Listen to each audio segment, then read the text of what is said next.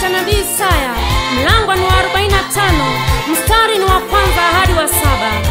Haya ndiyo Bwana amwambiaye Koreshi masihi wake, ambaye amemshika mkono wake wa kuume ili kutiisha mataifa mbele yake, nami nitalengeza viuno vya wafalme ili kufungua milango mbele yake, hata malango hayatafungwa.